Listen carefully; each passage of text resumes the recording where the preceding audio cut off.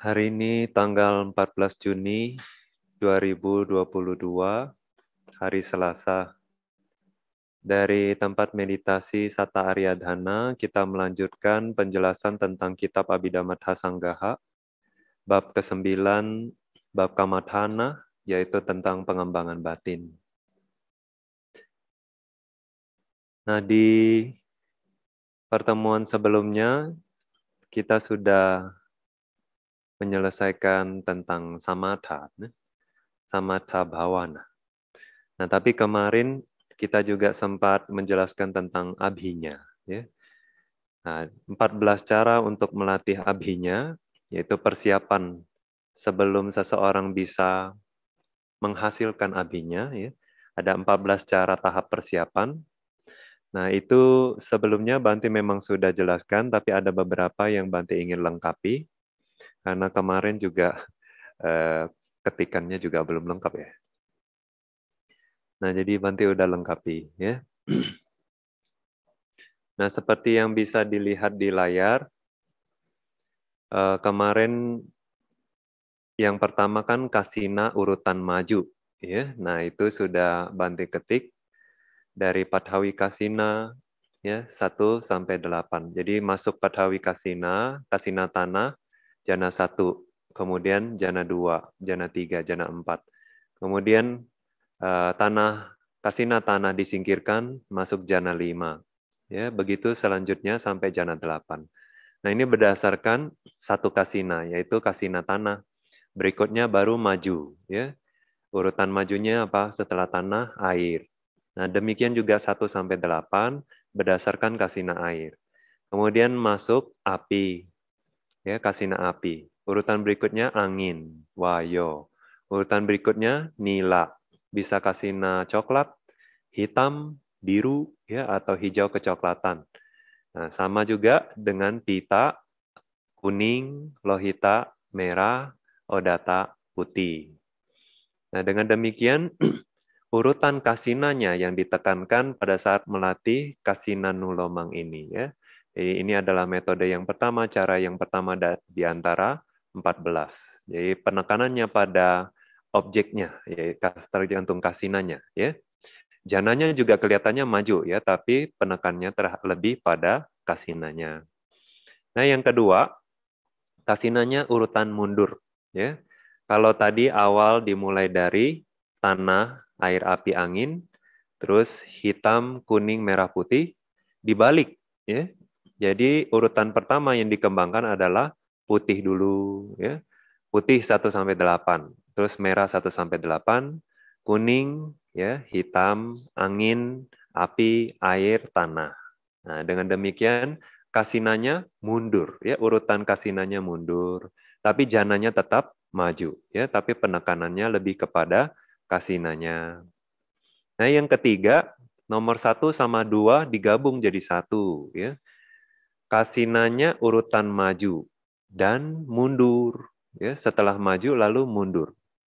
Oh ya, ini kasinanya ya, sorry. Kasinanya pertama maju dulu, kemudian mundur. Jadi kalau kita lihat ya, pertama dikembangkan kasina tanah dulu dari jana 1 sampai 8, oke, maju. Ya, habis itu air, api, angin, ya, hitam, kuning, merah, putih. Nah, ini maju dulu ya. Kasinanya maju. Kemudian kasinanya mundur, ya. Putih, merah, kuning, hitam, angin, api, air, tanah. Nah, jananya tetap maju ya. Kasinanya yang maju dan mundur. Nah, ini nomor satu sama nomor dua digabung jadi satu, maka terjadilah cara yang ketiga. Nah, cara yang keempat, jana urutan maju. Ya. Jananya maju sekarang, ya. Tapi kalau kita lihat urutan kasinanya juga tetap maju, tapi penekanan di sini lebih kepada urutan jananya, ya. Jananya mau urutan maju. Nah, sama seperti yang pertama ya, kasinu lomang, tapi penekanannya pada jananya. Nah, yang kelima, jana pati lomang artinya jana urutan mundur. Nah, ini agak beda ya dari yang sebelumnya. Kasinanya tetap urutan maju, tapi jananya mundur. Ya. Jadi pertama-tama masuk kasina tanah, tapi berdasarkan kasina tanah harus masuk sampai jana 8. Ya. Lompat ini ya, bukan 1, 2, 3, 4, 5, 6, 7, 8, bukan. Tapi mulai dari 8. Nah, nanti ini bagi mereka yang sudah latih janawasi, ya baru bisa berlatih seperti ini. Bisa langsung lompat ke 8. Ya. Nah, cepat sekali nanti uh, cara cara apa masuk ke delapannya ya. Kemudian dari delapan baru turun tujuh enam lima 4321 gitu ya. Urutannya jadi mundur. 876 54321. Nah, itu dari kasina tanah pertama-tama. Nah, setelah selesai urutan itu, kemudian baru kasina air. Masuk dulu 8, baru mundur ke 1. Begitu juga dengan api, angin, hitam, kuning, merah, putih. Nah, cara yang keenam. Dana nuloma patilomang. Jadi jananya urutan maju kemudian mundur, setelah maju lalu mundur ya. Jadi kalau urutan majunya sama ya, kasina tanah yang pertama masuk jana 1, 2 3 4 5 6 7 8. Nah, sebelum ganti kasina dari 8 turun lagi ke 1. 8 7 6 5 4 3 2 1 gitu ya. Nah, ini baru selesai kasina tanah. Setelah selesai kasina tanah baru maju ke kasina air ya. Begitu juga 1 sampai 8, 8 sampai 1. Ya. Nah, setelah air selesai baru api dengan cara yang sama. Angin sama, ya. Hitam, kuning, merah, putih. Ya, maju mundur. Nah, setelah ini sudah lahir mahir, setelah semua sudah mulus dari 1 sampai 6 sudah mulus, kita maju ke tahap ketujuh, ya. Janu kantika. Ya, jana ukantika. Ukantika melompat atau skip, ya, skip jana. Jadi kalau yang pertama dari kasina tanah, masuk dulu kasina tanah, jana satu. Nah, tapi satu nggak masuk jana dua. Setelah satu langsung tiga, tiga langsung lima, lima tujuh. Ya. Nah, jangan langsung pindah uh, kasinanya, masih kasina yang sama, masuk dua. Ya. Jadi uh, 2, 4, 6, 8. Kemudian baru 3. 3, 5, 7, 1. Ya. Nah, 4, 6, 8, 2, 5, 7, 1, 3. Nah, sampai ya 8, 2, 4, 6. Nah, ini baru selesai tentang kasina tanah. Ya. Perihal kasina tanah udah selesai. Nah, dengan demikian, masuklah baru kasina air. Dilatih dengan urutan yang sama juga. ya. Jadi kalau kita lihat 4 kali 8, ada 32 yang jana harus dimasukkan, dimasuki dengan setiap kasina. Nah, kasina air sudah selesai, begitu juga dengan api, angin, hitam, kuning, merah, putih. Ya. Nah, itu jananya yang lompat kalau kita perhatiin. Ya. Jananya lompat, tapi kasinanya tidak lompat. Ya. Nah, yang kedelapan, kalau yang nomor tujuh sudah mulus, sudah lancar ya tanpa hambatan, nggak macet-macet, kita masuk ke nomor delapan. Nah, yang kedelapan ini kasinu kantika, kasina ukantika. Jadi melompat atau skip kasina. Nah, sekarang pertama-tama masuk dulu jana satu dari kasina tanah. Ya. Nah, semuanya satu ya. Nah, bisa dibaca di sini. Saat berlatih kasino kantika, maka urutan harus dilatih sesuai dengan urutan di atas. Dimulai dari Pathawi, tanah. Ya. Nah, jadi masuk dulu kasina tanah jana satu. Ya. ya kita lihat ini ya. Jadi setelah kasina tanah, dia ke kasina api. Jadi biasanya habis tanah kan air.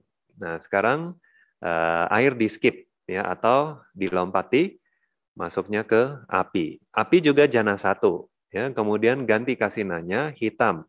Hitam juga jana satu. Setelah hitam, jangan kuning, tapi di skip kuningnya lang, uh, masuk ke uh, merah. Ya, merah juga jana satu. Ya, dengan demikian, apo, ya, air satu, angin satu, pita satu, ya, kuning satu, putih satu. Nah, balik lagi, api tejo ya satu nila satu lohita satu gitu nah satu satu satu satu dulu semua ya nah jana satu sudah selesai ya Kemudian semua urutan diulangi, tetapi latihlah untuk langsung memasuki jana dua. Nah, sekarang ya. Pola yang sama. Balik lagi ke kasina tanah. Tapi jana dua. Kasina api, jana dua. Ya. Kasina hitam, jana dua. Merah dua. Air dua, angin dua, kuning dua, putih dua. Nah, begitu dua, dua, dua, dua, sampai selesai. Ya. Nah, kalau kita perhatikan urutannya tetap ya. Jadi kalau kita lihat dari yang kolom pertama ya. Padhawi apotejo wayo nila pitalohita odatana itu urutan kasina ya. Nah, tapi pertama-tama ya untuk yang Padhawi kita harus lompat dulu ya sesuai polanya. Nah, baru habis itu kasina yang kedua. Begitu kasina yang ketiga sama begitu lompat-lompat ya. Nah, ini lompat kasina ya. Jananya satu persatu ya.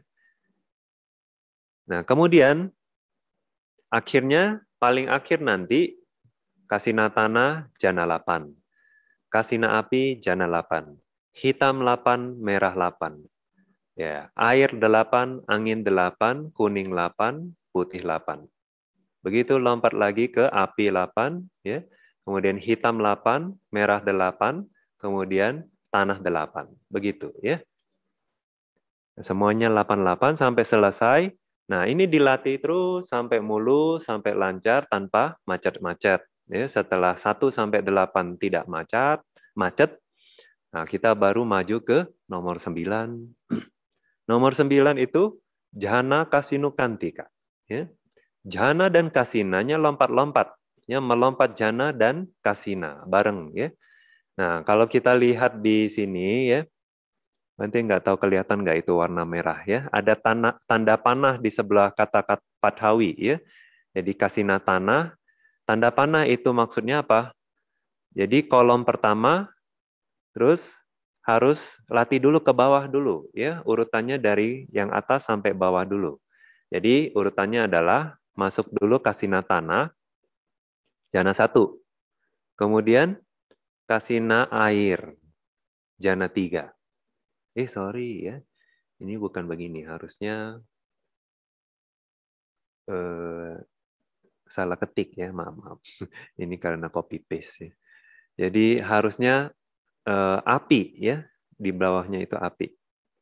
Jadi baiknya eh, baiknya diperbaiki nanti aja ya. Jadi yang kedua itu api jana tiga. Nah, begitu juga hitam jana 5. Terus merah jana 7. Nah, baru balik ya. Kasina air jana 1. Ya. Nah, dengan demikian, eh, ya betul ya, salah ini. Eh, harusnya begitu ya. Jadi tanah, api, hitam, merah. Kemudian eh, jana kasinukantika. Ya, betul ya. Harusnya begitu. Jadi urutan yang kolom pertama ini, yang kita lihat di situ kan Padhawi Apotejo Wayo Nilapita Lohita Odata ya. Nah itu harusnya diganti Padhawi Tejo, ya baris kedua itu Tejo, kemudian Nila Lohita. Nah baris kelima itu harusnya Apo, Wayo, ya keenam Wayo, ketujuhnya uh, Pita, baru yang kedelapan Odata, gitu ya. Nah, setelah diurutkan demikian, jadi pertama kali harus masuk kasina tanah jana satu. Kemudian kasina api jana tiga. Kasina hitam jana lima. Kasina merah jana tujuh. Kemudian kasina air jana satu. Kasina angin jana tiga. Kasina kuning jana lima. Dan kasina putih jana tujuh. Nah, setelah selesai, ulang lagi dari awal ya, kasih tanah jana dua. Ya, baru kolom kedua. Ya. Demikian kasina api jana empat, kasina hitam jana enam, gitu ya. Nah, dengan demikian sampai jana delapan tanahnya. Ya. Nah, itulah lompat jana dan lompat kasina. Ya, biasa ini yang paling membingungkan. Ya. Nah, ini dilatih terus sampai lancar, sampai mulus, sampai enggak ada macet-macet. Dari 1 sampai 9 juga diulang lagi. ya sampai lancar, sampai enggak macet. Nah, kemudian kalau sudah mulus, lancar, baru latih nomor 10. Enggak sangkantika. Enggan sangkantika itu apa? Memasuki jana dengan merubah faktor jana. Nah, jadi sama misalnya eh, kalau misalnya seseorang itu kan mau masuk ke jana dua, dia kan harus menyingkirkan witaka wicara. Ya, nah ini versi versi suta ya, versi sutanya langsung singkirkan witaka dan wicara. Nah, dengan menyingkirkan witaka wicara dia mau ngembangin piti sukai kagata. Ya, nah dengan demikian juga dia masuk dari jana satu, oke, witaka wicara, hilangin ya, piti sukai kagata, masuk. Jana dua, begitu juga hilangin piti, hilangin suka, nah kayak gitu ya. Jadi dia masuk jana dengan merubah faktor jananya ya. Nah, bukan fokus ke faktor jananya, tentu fokusnya tetap ke uh, pati baganimita, kasinanya ya, tapi uh, dia perlu tekati ya uh, untuk merubah jananya itu. Nah, penekanannya adalah merubah faktor jana. Ya, tekadnya adalah merubah faktor jana. Nah, jadi pola urutan objeknya sama dengan kasinulomang, ya, sama dengan yang urutan pertama, cara yang pertama, ya. Bedanya hanya setiap setelah keluar dari masing-masing jana, ya, harus mengecek kembali jana faktor dari masing-masing jana. Ya. Nah, kemudian yang ke-11. Yang ke-11 ini memasuki jana dengan merubah kasina, ya. Merubah kasina. Nah, kalau kita lihat ya polanya, pertama masuk kasina tanah. Jana satu, ya. Terus air, jana satu. Api, jana satu. Ya, wayo satu, nila satu, hitam satu, ya. Kuning satu, merah satu, putih satu. Nah, kemudian balik lagi ke kolom dua dari atas, ya tanah dua, air dua, api dua, angin dua, ya, hitam dua, kuning dua, merah dua, putih dua. Nah, kemudian selesai balik lagi baru tiga, tiga, tiga, tiga, empat, empat, empat, ya sampai delapan, delapan, delapan, delapan. Nah, ini adalah cara untuk melatih yang ke sebelas, ya. Jadi kasinanya yang dirubah, jananya satu-satu. Nah, yang kedua belas, yang kedua belas memasuki jana dengan merubah faktor jana dan kasina. Nah, sekarang kasina dan jananya ya diubah-ubah. Nah, bagaimana latihnya? Unsur tanah, ya, eh sorry, kasina tanah ya. Kasina tanah masuk jana satu. Kemudian ganti air, tapi jana dua langsung, ya. Api tiga, angin empat, hitam lima, ya, kuning enam, merah tujuh, putih delapan.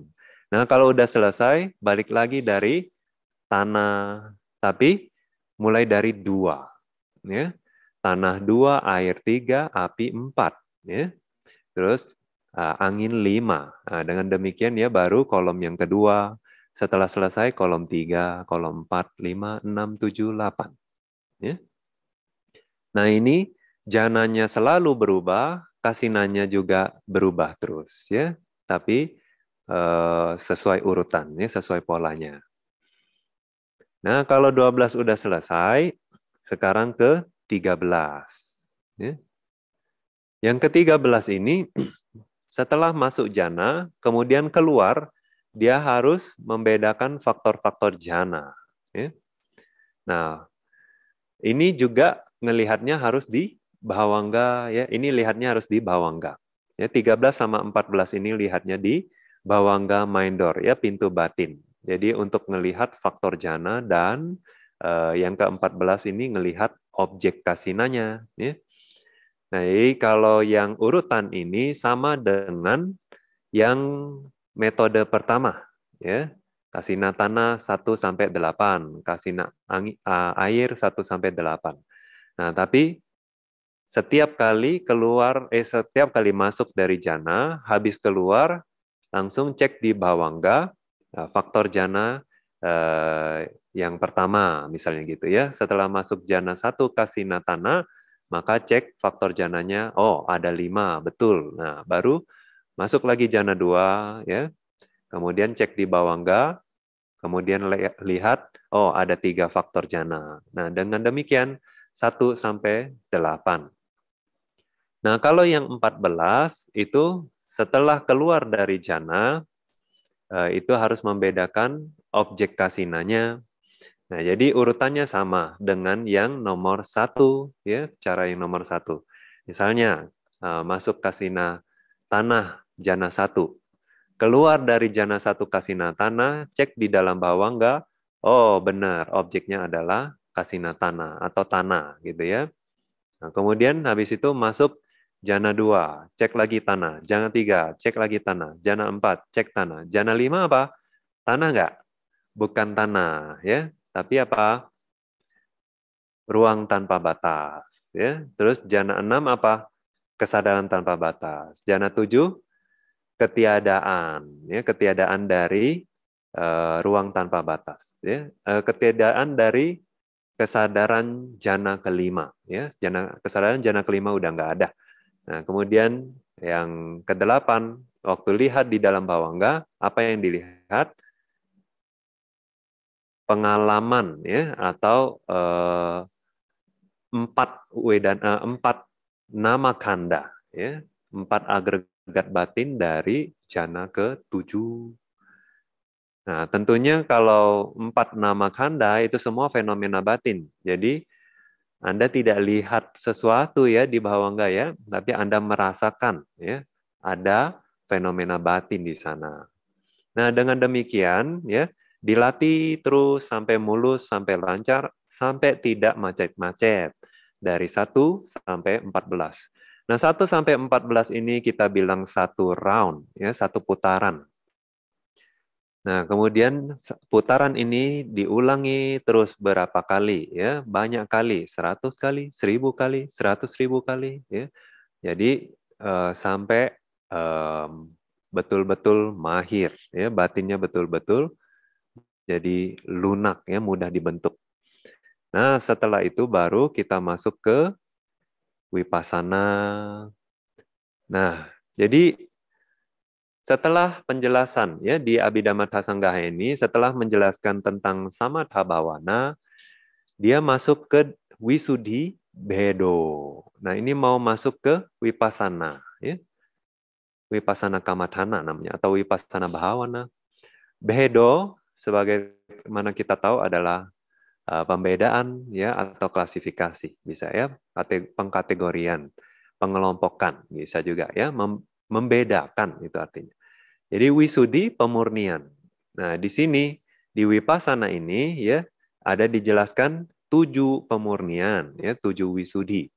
Ya. Nah, sebetulnya Anda bagi kalian yang sudah mendengar ya, bagi mereka yang sudah dengar penjelasan Bante tentang Sata Wisudi, tujuh wisudi ya. Nah, itu Anda bisa lihat di YouTube, Bante sudah jelaskan setiap wisudi dengan lebih detail. Nah, jadi di sini tentunya tidak akan dibahas sedetil di sana. Ya. Tapi meskipun di sana lebih detail, pada prakteknya akan lebih detail lagi. Ya. Oleh sebab itu disarankan nah, sama baik sama tabawana atau kalian mau latih abhinya atau mau latih wipasana, baiknya dilatih di bawah bimbingan guru. Nah, itu lebih bagus ya. Nah, karena akan banyak yang harus diperhatikan diamati ya. Nah, paragraf 43. Ini kemarin paragraf 50 sudah ya. Oh, ini 43 ya. Oh, uh, bagian uh, pertemuan yang ke-50 ya, bukan ya. Paragrafnya sih 42 ya. Sekarang kita ke paragraf 43, pertemuan yang ke-51 ya. Nah, di sini Eh, paragraf ini kita lihat dulu ya, dia bilang apa? Wipasana kamathane pana, sila wisudi, cita wisudi, diti wisudi, kangkawitarana wisudi, maga-maga nyana dasana wisudi, patipada nyana dasana wisudi, nyana dasana wisudi ceti, sata widhena wisudi, sanggaho, sanggaho, kelompok, wisudi, pemurnian. Ya, ada tujuh kelompok pemurnian sata widha, ya, tujuh jenis, tujuh macam. Nah, yang pertama ya kita lihat di tabel Sila wisudi pemurnian moralitas. Ya, wisudi itu adalah pemurnian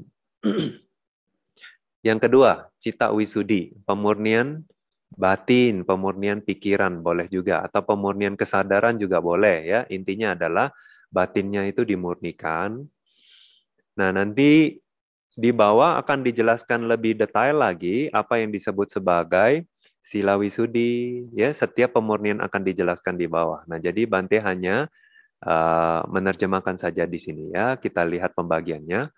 Yang ketiga, dithi. Itu berarti pandangan salahnya dimurnikan. Ya, makanya disebut pemurnian pandangan. Yang keempat, kangka witarana. Ya. Kangka itu keraguan, witarana melampaui, ya. Jadi mengatasi, Bante terjemahkan di sini. Atau bisa juga melampaui. Jadi pemurnian yang dicapai setelah melampaui keraguan, artinya menyingkirkan keraguan, ya, mengatasi keraguan. Kelima, dasana wisudhi. Ya.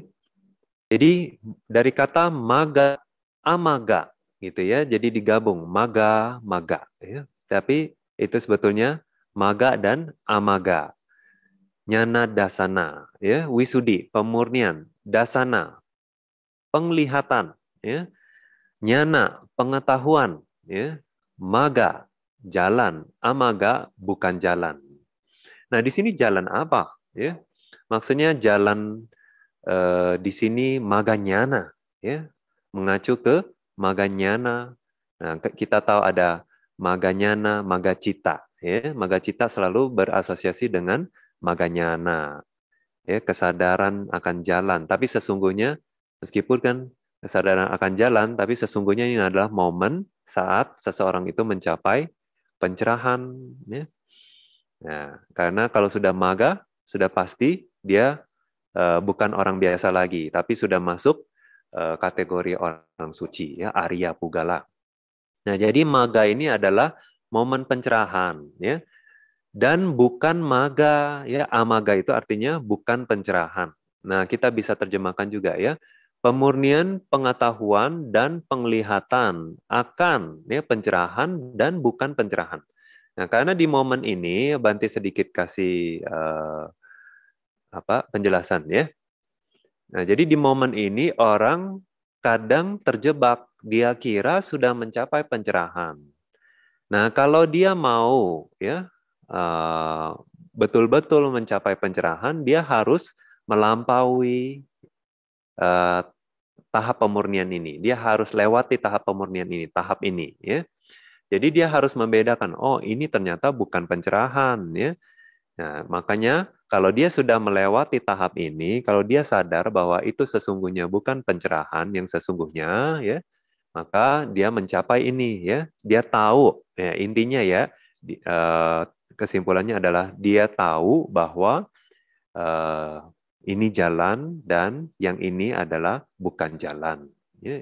Ini pencerahan dan ini bukan pencerahan. Eh, tahap ini dia sadar bahwa dia belum mencapai pencerahan, maksudnya itu ya. Nah, yang keenam, pati pada, ya, latihan, nyana dasana, ya, penglihatan dan pengetahuan, wisudi pemurnian. Nah, jadi dia pemurnian akan pengetahuan dan penglihatan. Oh, kurang ya. Pati pada artinya latihan atau praktek. Nah, jadi di sini ya, itu dia harus memahami setelah dia melampaui, oh itu tadi bukan pencerahan. Nah, sekarang dia baru masuk ke jalan yang sesungguhnya. Jadi jalan ini untuk pencerahan yang sejati, ya. Nah, makanya di tahap ini nah, dia akan mendapatkan pemurnian dan pemahaman bahwa inilah praktek yang benar, ya, jalan, ya, jalan menuju pencerahan. Nah, dia harus lewati ini. Nah, waktu dia sudah lewati jalannya itu, jalurnya itu, prakteknya itu, baru dia bisa mencapai yang ketujuh, nah ini ya baru tahap uh, pencapaian pencerahan yang sesungguhnya ya. Nyana, dasana, wisudi.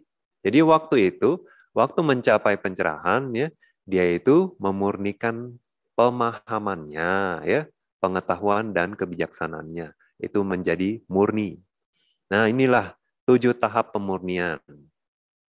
Nah, tujuh tahap pemurnian ini selain dijelaskan di Abhidhamma juga bisa kita temukan di Sutta, ya.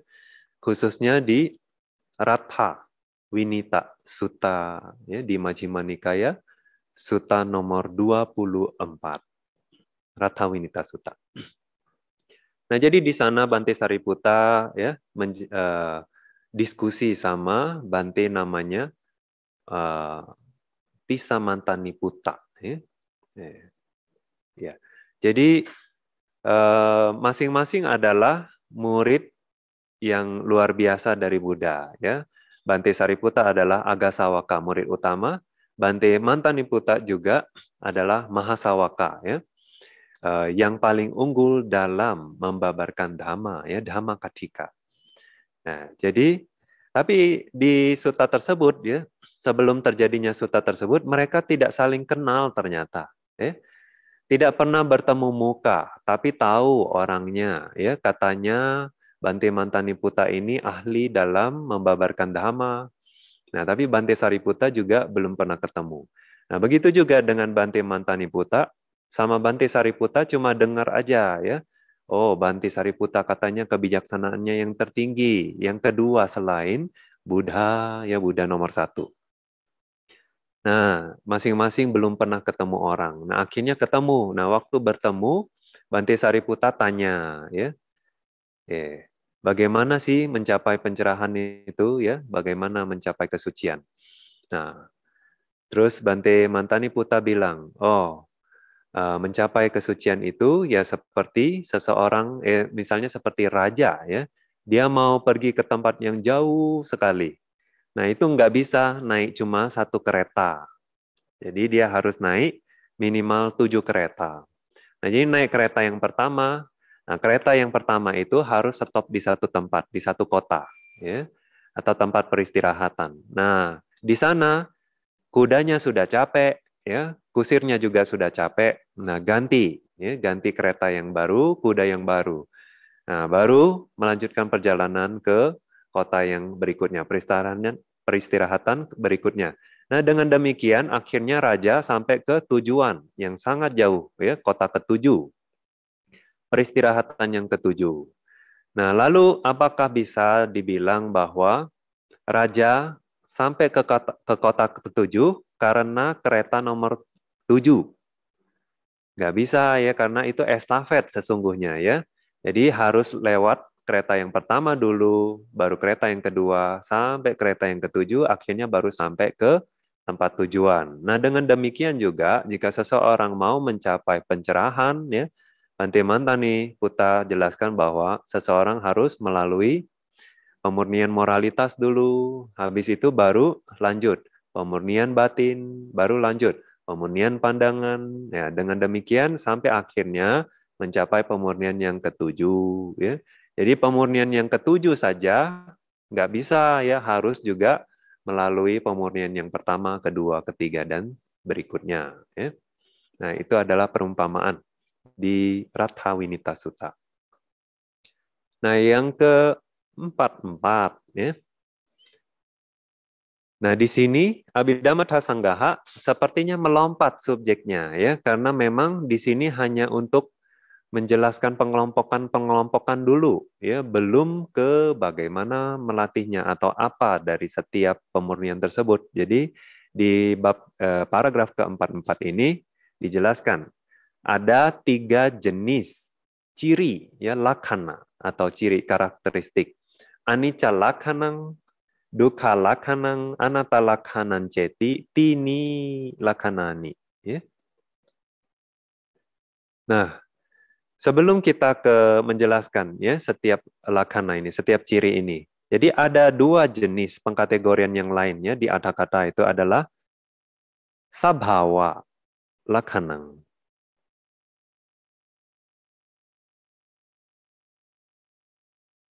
Ya, sabhawa lakhanang. Yang berikutnya adalah samanya, lakanang.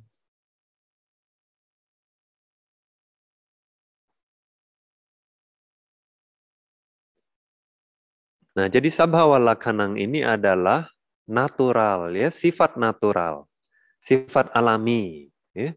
Samanya, samanya itu adalah general, general atau, atau umum, ya, umum. Nah, jadi ciri naturalnya, ciri alaminya sama ciri umum ya samanya. Nah, ini contohnya gimana ya?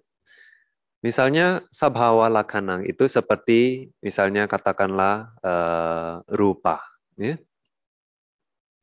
Rupa fenomena materi. Satu uh, rupa ini dijelaskan di Abhidhamma ada 28 jenis rupa, ya, 8 jenis, 28 fenomena. Nah, tapi sesungguhnya 28-nya nggak bisa eksis di satu rupa kalapa. Ya. Jadi satu rupa kalapa minimal delapan, ya. Tapi satu rupa kalapa juga bisa sampai sembilan, sepuluh, sebelas, dua belas, tiga belas bahkan ya ada. Nah, tapi dua delapan semuanya nggak bisa ada di satu uh, rupa kalapa. Nah, jadi misalnya ya, di satu rupa kala pun di rupa satu rupa kalapa pun ya misalnya katakanlah ada delapan ya fenomena materi. Apa fenomena materi ini? Kalapa ini adalah kelompok ya. Jadi kelompok fenomena materi. Jadi mereka tuh berdelapan gabung jadi satu baru muncullah penampakan rupa kalapa itu ya. Nah, jadi di satu rupa kalapa tersebut ya eh, sendiri ada minimal katanya delapan rupa ya delapan fenomena materi. Nah, kalau kita cari delapan itu apa ya? mereka yang sudah uh, belajar rupa ya uh, bagian rupa sanggaha ya bab ke-6 dari Abhidhamma Sanggaha ini mereka tahu bahwa satu rupa kalapa minimal ada delapan ya yang pertama adalah tanah unsur tanah air api angin warna bau rasa dan nutrisi oja ya Pathawi apotejo wana ganda rasa oja ya nah pathawi uh, unsur tanah ya. Nah, unsur tanah ini juga sebetulnya uh, kalau unsur tanah sendiri ya maka nggak kelihatan ya. Nah, tapi karena mereka berdelapan gabung jadi satu baru terlihat oleh batin. Nggak bisa terlihat oleh mata. Ya. Mata ini, ya kesadaran mata hanya bisa menangkap banyak rupa kalapa jadi satu. Ya. Baru kita kelihatan, oh ini Eh, terlihat oleh mata, terlihat oleh kesadaran melihat, ya kesadaran mata cakuinya. Nah, nah contohnya gimana? Misalnya ya, kita ada kulit kita kan sensitif nih terhadap sentuhan, ya. Nah, tapi kalau debu, kita berasa nggak? Ya, kita nggak terasa debu. Ya, atau misalnya eh, menurut kedokteran kan fisika katanya banyak kuman di sekitar kita, banyak virus. Nah, tapi apakah kita bisa sentuh? Kita rasa sentuhan kuman tersebut? Enggak ya. Nah, jadi harus agak besar materinya ya, baru kita terasa waktu kepegang ya. Misalnya kapas atau beras atau pasir ya. Satu busir pasir kalau ditaruh di kulit mungkin ya bagi yang sensitif tidak kapalan nih kulitnya. Nah, masih bisa merasakan ada ya, ada sentuhan dari pasir. Nah, pasir yang begitu kecil ya, sesungguhnya butiran itu sendiri terdiri dari banyak rupa kalapa. Nah, kalau satu rupa kalapa saja kita nggak bisa ketahui ya dengan sentuhan ini ya, dengan sensitivitas kulit nggak bisa ya. Nah, begitu juga mata ini. Mata ini apa bisa melihat debu? Nah, ya. Nah, debu yang mungkin kelihatan dengan bantuan cahaya matahari, mungkin masih kelihatan ya. Tapi dijelaskan ada lagi debu yang lebih kecil lagi daripada itu. Ya. Nah, jadi oke. Okay. Jadi debu itu aja ya satu titik debu itu aja ternyata kumpulan dari rupa kalapa. Ya. Kalau masih bisa terlihat oleh mata ya berarti itu sesungguhnya uh, belum rupa kalapa, belum satu rupa kalapa ya. Nah, jadi sesungguhnya itu banyak rupa kalapa di sana, baru akhirnya kelihatan seperti sebongka atau setitik pasir begitu. Nah, begitu juga dengan suara. Suara yang sangat kecil ya, nah, kita nggak tahu, ya, tapi yang harus cukup besar baru kita kedengaran. Nah, begitu juga dengan yang lainnya. Nah, rupa kalapa ini oleh sebab itu hanya bisa dilihat oleh eh, manodwara, ya, hanya bisa dilihat oleh batin. Batin yang mana? Batin yang terlatih. Yang mana yang telah itu? Yang terlatih itu yang punya samadhi dijelaskan begitu. Nah, meskipun di satu rupa kalapa ini kita tahu tadi dijelaskan ya, di dalamnya ada delapan fenomena lagi. Apa? Tanah, unsur tanah. Ya. Unsur tanah ini hanya perumpamaan saja, seperti tanah atau dia cuma apa ya? Uh, mewakili ya mewakili tan uh, seperti mewakili tanah ya kayak perumpamaan saja. Tapi sesungguhnya uh, unsur tanah ini atau fenomena unsur tanah ini hanyalah apa? Fenomena kasar, keras, berat, ya. terus halus, ringan, uh, lunak. Ya. Nah jadi kalau makanya Bante terjemahkan sebagai fenomena karena memang sesungguhnya nggak bisa dilihat ya jadi hanya dirasakan pakai batin ya oh ini keras ini kasar ini berat gitu ya eh, kasar itu apa kita nggak tahu ya itu hanya fenomena saja nah kayak kasar keras berat ya lunak halus ringan. Nah ini disebut sebagai lakana juga. Ini juga ciri-ciri. Ciri-ciri dari unsur tanah atau fenomena tanah. Nah, tapi ciri ini bukanlah ya samanya lakana, bukanlah ciri-ciri yang umum, tapi apa? Spesifik atau dia hanya unsur tanah saja yang punya ciri itu ya. Nah, makanya kadang diterjemahkan sebagai ciri-ciri spesifik. Tapi sebetulnya kata sabhawa itu adalah ciri-ciri natural, ya, ciri-ciri alami. Jadi alaminya unsur tanah itu apa? Yaitu fenomena keras, fenomena halus dan lain sebagainya. Nah, begitu juga dengan api, ya, air, api, angin. Nah, masing-masing memiliki dua ciri. Nah, begitu juga dengan warna, bau, rasa, dan nutrisi. Masing-masing punya ciri, ciri-ciri spesifiknya atau ciri-ciri alaminya yang tidak di share, ya, tidak dibagi, tidak ada di unsur api, ya sifat dari atau ciri-ciri unsur tanah hanya ada di fenomena tanah saja. Fenomena api tidak ada unsur keras, tidak ada fenomena berat gitu ya. Nah, begitu juga fenomena panas dan dingin yang dimiliki oleh unsur uh, api tidak dimiliki oleh uh, unsur tanah. Nah, jadi mereka mengemban ya seolah-olah memiliki ciri-cirinya masing-masing. Nah, ini disebut sebagai sabhawa, lakana, ciri-ciri alami ya atau ciri-ciri spesifik. Nah, yang samanya lakana itu lalu apa ciri-ciri yang umum? Ciri-ciri umum artinya semua rupa ya punya ya mereka sharing ciri yang sama, sifat yang sama.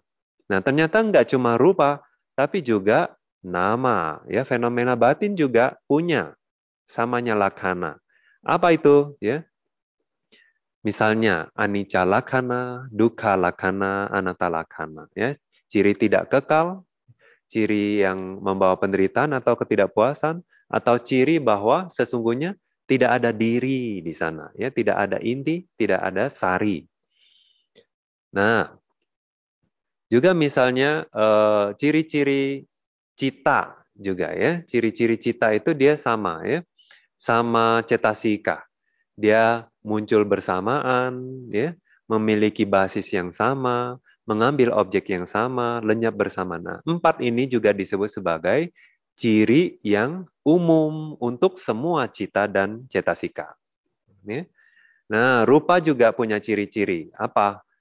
Uh, hancur, ya, selalu berubah. Rupa itu sifatnya selalu berubah. Maksudnya gimana? Maksudnya kalau kena panas, Nah, dia berubah. Ya. Nah, kalau kena dingin, dia berubah. Nah, sama seperti materi ya. Kalau kulit kita kena panas terus, apa jadinya? Menghitam, ya misalnya gitu. Atau kalau kena dingin terus, apa yang jadi? Mungkin jadi kering, ya. Terus dia jadi kaku, ya. Nah, seperti itu. Ya, rupa dia kena eh, kondisinya berubah, ya, maka dia juga berubah. Jadi selalu berubah katanya ya. Nah, itu adalah ciri yang di-share atau ciri yang dimiliki oleh semua fenomena materi ya, semua fenomena materi punya ciri yang sama yaitu mudah berubah. Nah, di sini ya Abhidhamma Sanggaha menjelaskan ada tiga jenis ciri. Nah, berarti ini ciri apa? samanya lakana ya ciri umum. Ya. Nah, anicca. Nah, sekarang kenapa ya ada tiga ciri ini? Ya, Bante jelasin satu-satu dulu. Jadi eh, baik eh, rupa, baik nama, mereka semua memiliki ciri ini.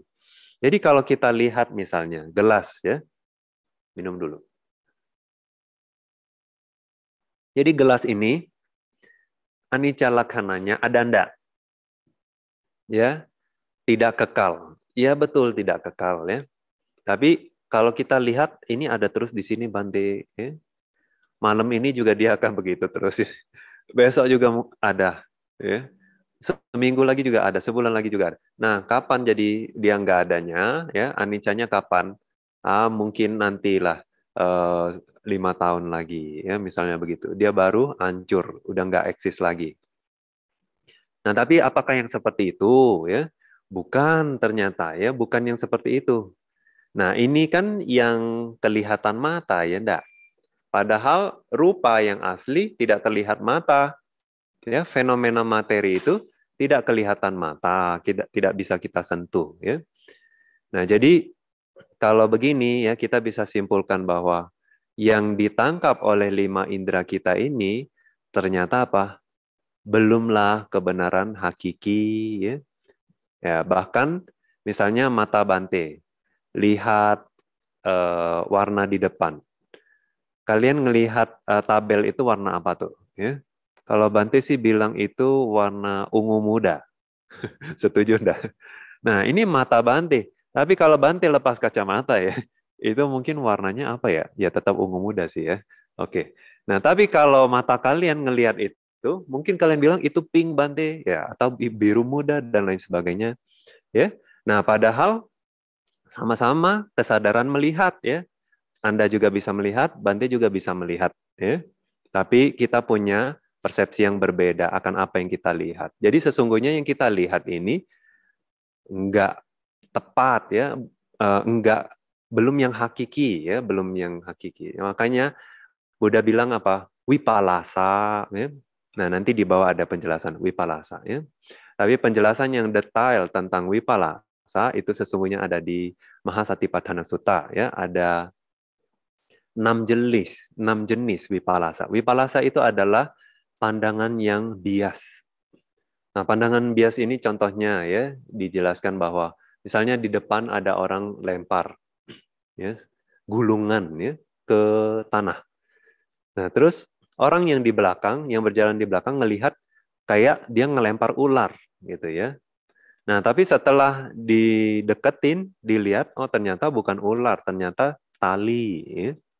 Nah, kadang-kadang kita begitu bukan?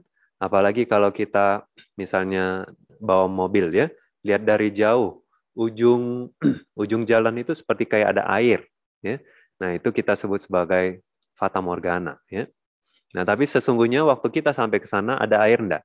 Enggak ada ya, kering. Nah, itu seperti itu wipalasa itu ya.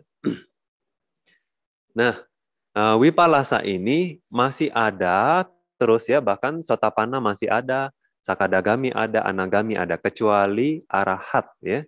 Semua 16 jenis Wipalasa sudah disingkirkan oleh kekuatan maganyana dari Arahata Maga. Ya. Nah, jadi eh, kalau Sotapana dia hanya menyingkirkan Diti Wipalasa dan melemahkan ya Wipalasa yang lain. Eh, bias akan pandangan ya Nah, itu semua sudah disingkirkan oleh Satapana.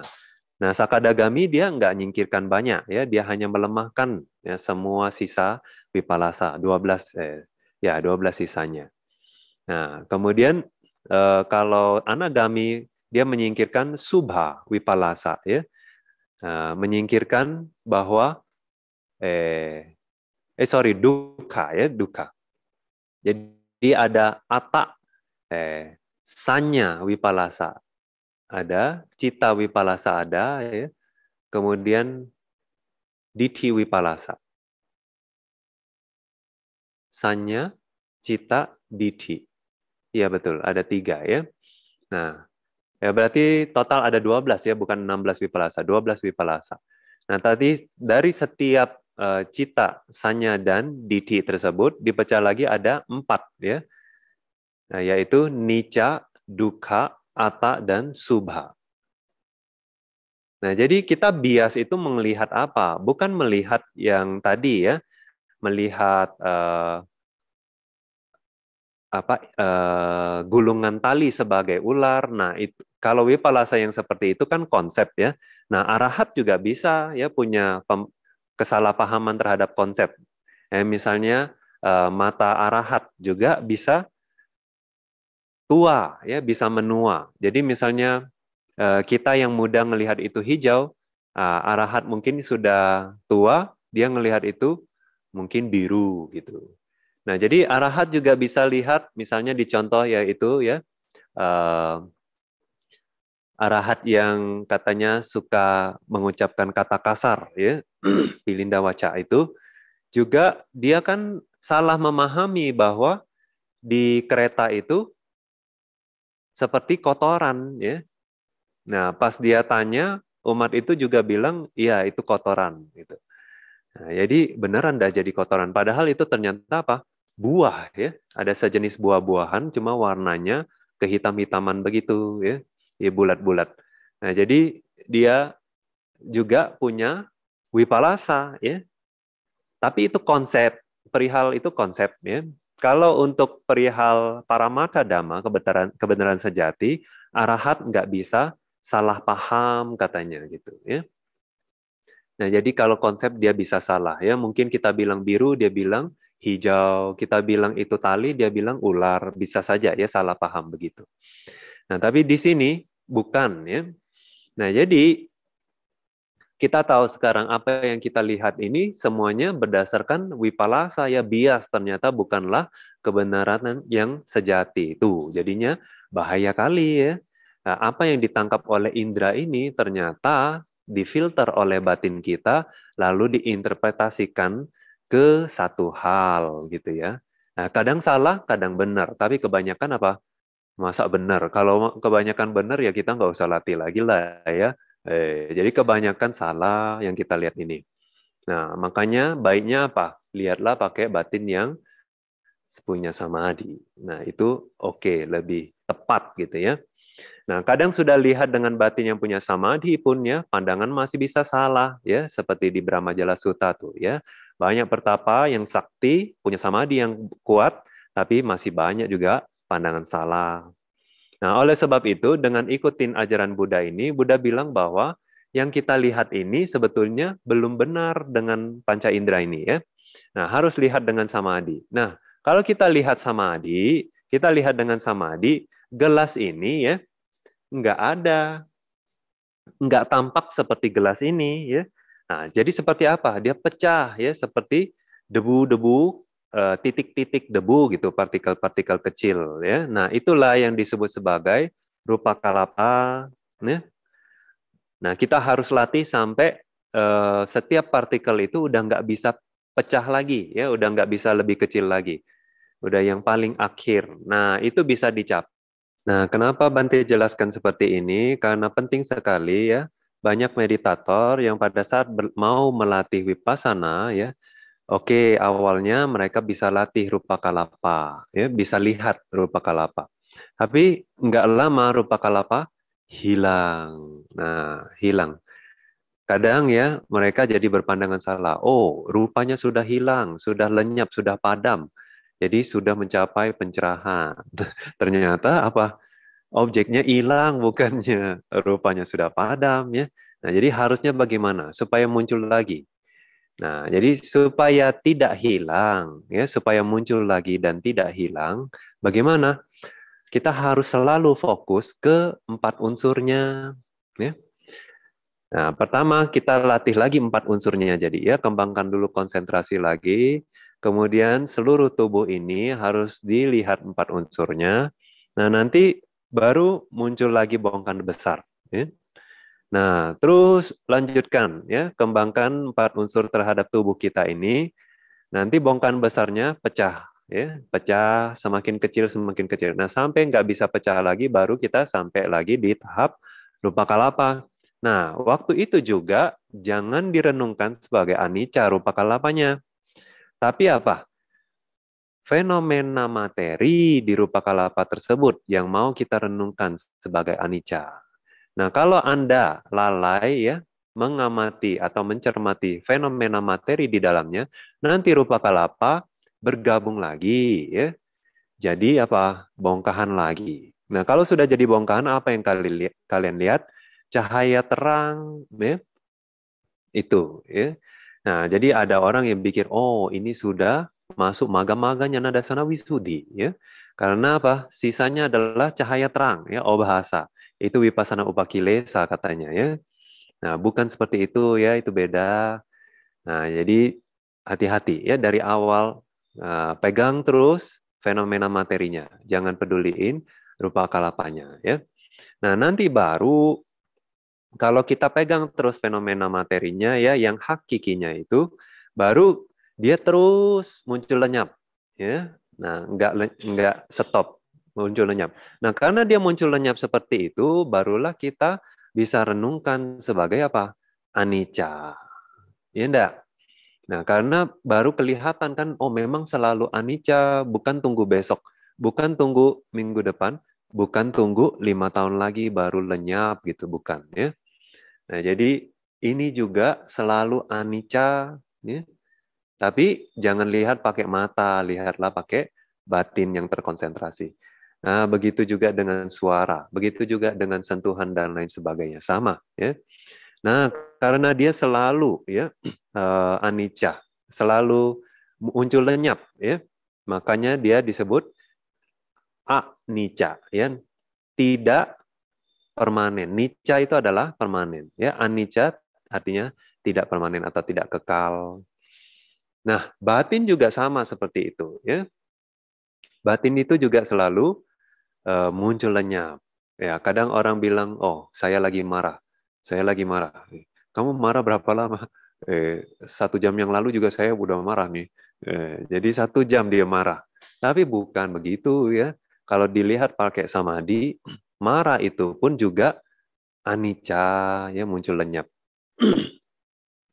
nah, duka sekarang. Duka itu apa? Kadang duka itu disebut sebagai udaya baya Patipilana. Ya. Udaya, baya, pati, pilana. Ya. Jadi udaya baya pati pilana artinya apa? Pati pilana itu lelah ya atau eh, tertekan ya tertekan ya karena tertekan jadi lelah ya Nah, udaya baya itu adalah muncul lenyap. Jadi dia itu karena selalu tertekan oleh kemunculan dan kelenyapan itu. Nah, siapa pun yang tertekan ya nggak merasa bahagia, nggak merasa puas ya. Jadi selalu uh, muncul lenyap dia. Bagaimana bisa dipegang? Bagaimana bisa uh, memuaskan keinginan kita ya enggak? Kalau dia selalu tertekan karena muncul dan lenyap. Karena muncul, kita maunya kan selalu muncul. Nah, tapi dia ternyata lenyap. Nah, kadang kita yang biasanya kita nggak mau, yang kita benci, kita maunya lenyap, tapi nggak, ternyata dia muncul. Ya. Jadi, itulah uh, membawa penderitaan, yang tidak memuaskan. Apa pun itu, baik atau buruk. Ya. Nah, anatta itu apa? Anatta di sini, uh, eh balik lagi ke duka ya. Makanya kadang-kadang orang bilang saya bahagia, bagaimana duka? Dia bilang gitu ya. Nah, begitu juga orang bilang masuk jana. Masuk jana itu kan senang. Bagaimana kok bilang jana itu duka? Tapi Buddha bilang jana itu duka, mau arupa jana, mau rupa jana, semuanya duka. Bahkan wipasana nyana pun juga duka. Ya. Nah, jadi maksudnya di sini apa duka itu? Nah, yang tadi itu ya, karena tertekan. Wipasana nyana. Wipasana nyana juga anicca ya. Karena dia muncul lenyap, makanya dia juga tidak bisa memuaskan kita. Ya, misalnya satapana pun ya, nyananya juga bisa drop ya. Nah, orang yang sudah berlatih wipasana, katakanlah sampai tahap matang ya, sudah dekat mau mencapai Arya. Juga nyananya bisa drop, tergantung uh, Yoniso Manasikara atau Ayuniso Manasikara. Ya. Nah, tergantung banyak kilesa yang muncul atau enggak. Semakin banyak, ya uh, kebijaksanaannya juga bisa semakin tumpul, semakin blur, ya kabur. Akhirnya drop. Nah, biasanya apa yang harus dilakukan? Ya kembangin lagi dari awal, ya sampai jelas. Nah, baru nanti nyananya akan otomatis naik lagi. Nah, itulah sebabnya wipasana nyana juga duka ya, jana juga bisa hilang nggak? Bisa sekali ya. Abhinya bisa hilang nggak? Bisa ya, bisa hilang. Nah, kecuali sudah mencapai apa? Anagami misalnya gitu ya. Anagami itu kan dia Buddha bilang apa? Samadinya sempurna ya. Samadinya uh, sempurna. Karena apa? Halangan batinnya udah banyak yang disingkirkan. Ya. Nah, karena itu biasa kalau anagami ngembangin jana atau uh, abinya, ya, itu tidak mudah hilang. Dan untuk mempertahankannya juga mudah. Ya.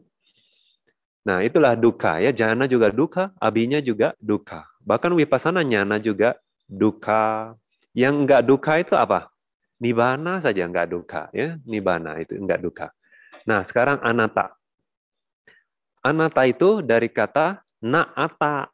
Ya. Tidak ada ata, tidak bukan ata juga bisa bilang gitu ya. Nah, sekarang ata itu apa? Anata bisa bukan ata atau tidak ada ata. Bisa juga ya. Nah, sekarang ata. Ata itu apa? Ata ini eh, sesungguhnya dipinjam dari bahasa Sanskerta dari kata atman. Ya. Nah, atman ini kalau bahasa modern zaman sekarang mungkin terjemahkan sebagai ego, ya.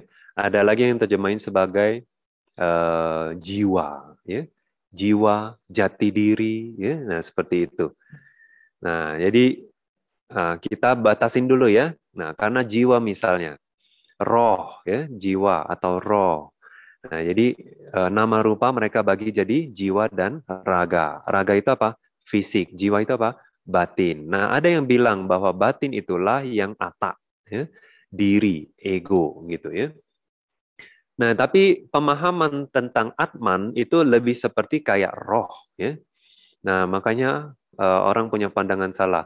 Waktu tidur ya, kalau mimpi itu artinya rohnya ya jalan ke sana, ke tempat mimpi itu terjadi. Nah, bahkan ada yang bilang bahwa, oh kalau gitu waktu tidur jangan dicoret-coret mukanya. Nanti waktu rohnya balik, dia bingung ini saya bukan. Nah, gitu ya. Dia nggak mau masuk lagi katanya. Nanti bisa mati. Nah, mau coba enggak? Ya, coret-coret aja mukanya. Nah, mau lihat masih bangun atau enggak besok pagi. nah, tapi ternyata apa? Roh itu sebetulnya tidak ada ya. Kalau secara Theravada itu bukan uh, ata ya. Jadi ata itu kalau mau dicari nggak ada juga di batin ini ya. Di batin ini juga nggak ada. Di fisik ini juga nggak ada. Bahkan di dalam satu rupa kalapa, uh, waktu kita sudah pilah-pilah, ya hanya terdiri dari fenomena materi. Dan fenomena materi ini juga bukanlah ata, ya. Karena konsep tentang ata ini jadi seperti sesuatu yang selalu ada dan kekal. Misalnya pemahaman bahwa setelah orang mati ya, nah, rohnya itu keluar. Nanti cari tubuh yang baru, kadang menunggu ya, 7 hari, 49 hari, 100 hari dan lain sebagainya, menunggu sampai dapat tubuh baru baru hidup lagi. Nah, tapi mereka berpandangan bahwa orang yang sama terus berputar-putar di dalam samsara ini ya ambil tubuh yang baru mati lagi ambil lagi gitu ya nah tapi kalau mau cari diri yang seperti itu kan atau ata atau roh yang seperti itu atau entitas yang seperti itu nggak ada ya di dalam fenomena materi ini karena kita lihat apa fenomena materi itu selalu lenyap dan muncul lagi muncul lenyap muncul lenyap muncul lenyap Kenapa muncul? Karena ada sebabnya. Kenapa lenyap? Karena sebabnya lenyap. Nah, jadi makanya dia muncul lenyap. Nah, nanti uh, dilihat bahwa nggak ada sesuatu yang kekal di dalam badan ini. Nggak ada ata, nggak ada roh yang selalu kekal itu ya. Nah, jadi semuanya hanyalah proses yang selalu muncul lenyap, ya, muncul karena sebab, lenyap karena sebabnya lenyap, ya. Nah, itulah makanya ada tiga ciri ini yang waktu wipasana harus kita lihat. Anicca, dukkha, anatta. Nah, masuk ke paragraf ke-45. Kadang dia disebut sebagai anicca nupasana, dukkha nupasana, anatta nupasana. Sebetulnya sama aja ya. Anupasana itu dari kata apa? Anu, pasana. Pasana melihat. Anu itu di sini adalah berulang kali. Ya. Misalnya Buddha Nusati, dari kata Buddha dan Anusati. Jadi sati yang berulang kali terhadap apa? Kualitas Buddha. Makanya disebut sebagai Buddha Nusati. Nah, anupasana juga dilakukan berulang kali. Karena nggak bisa ya kita misalnya renungkan ini. Oh ini anicca, udah langsung uh, pencerahan. Nggak bisa ya. Jadi harus diulangkan, diulangi terus ya. Sampai apa? Sampai uh, kebijaksanaannya matang. Nah begitu juga dengan duka, diulang berulang kali. Anata juga diulang berulang kali. Ya. Nah, ke empat enam sekarang. Yang 46 ini dia menjelaskan bahwa ada 10 wipasana nyana dia bilang di sini ya. Dasa wipasana nyana nih. Jadi 10 wipasana nyana itu apa? Mulai dari yang pertama ya, dilihat di tabel ya. Sama sana ya, sama sana nyanang. Pengetahuan, pemahaman, sama sana ya. Sebetulnya sama sana itu artinya adalah sesuatu yang harus dipahami, sesuatu yang harus dilihat gitu ya. Makanya Bante terjemahkan sebagai pemahaman. Nah, yang kedua apa? Udaya baya, udaya baya ya. Udaya muncul. Baya ini dari kata waya ya. Udaya waya.